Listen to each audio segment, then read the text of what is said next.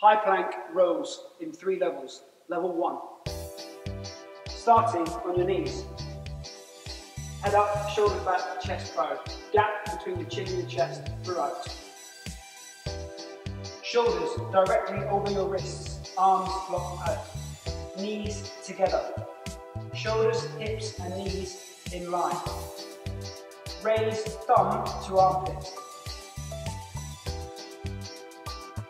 To make it easier, take knees wider. Level 2. One knee off the floor. Thumb to armpit.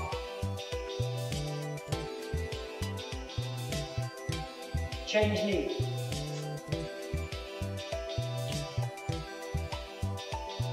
Level 3.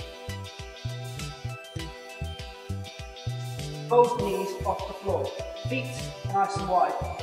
Thumbs up, armpit. Elbows close to the body. Shoulders, hips, knees and toes in line.